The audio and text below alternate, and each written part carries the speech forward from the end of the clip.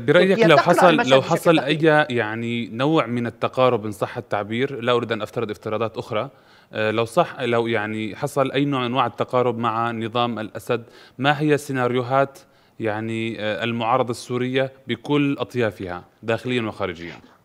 يعني قبل ذلك أريد أن أطرح الفكرة التالية. لو أن تركيا تريد أن يكون دورها فقط هو التطبيع مع النظام لشاهدنا على الأقل تمهيد لهذا التطبيع وكان النظام متلقفا يعني ومبتهجا بهذا التطبيع. ما وجدناه أن إيران التي أرسلت وزير خارجيتها قبل قمة طهران وخرج من تركيا من أنقرة إلى دمشق كان من باب أولى أيضا أن تبتهج. لا أن نشاهد الإعلام الإيراني يقلل ويهمش الدور التركي ويشعر الآخر أن تركيا هزمت في المعركة وأن النظام يتعالى الآن على الدور التركي إذا النتيجة ماذا؟ إيران لا تريد أن يكون هناك مسار سياسي. هي تقرأ المشهد بالصورة التي ذكرت. هي تقرأ أن تركيا تقدم مس...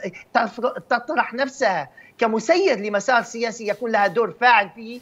وإيران ترى أنها لا وجود لأي مسار سياسي مؤمنة بالحل العسكري ولا غير مقتنعة بأي حل سياسي وسيما عندما تعالت الآن بحي من خلال التقارب باتجاه يعني المفاوضات نعم. النووية وأن أمريكا يمكن أن تتعهد لها بدور مهم في سوريا على حساب تركيا وعلى حساب طيب. روسيا أيضا نعم